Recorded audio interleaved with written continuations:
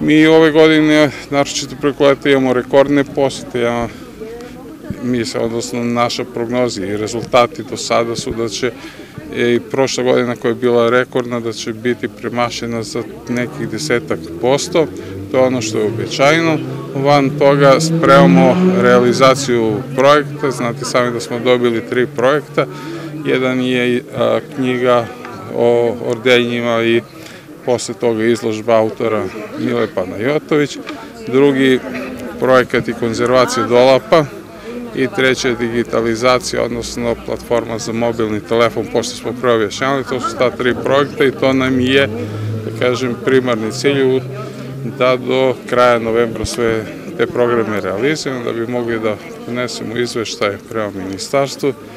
i da uspešno završimo i ova tri, odnosno ukupno zadnjih 12 godina 26 projekta od strane ministarstva.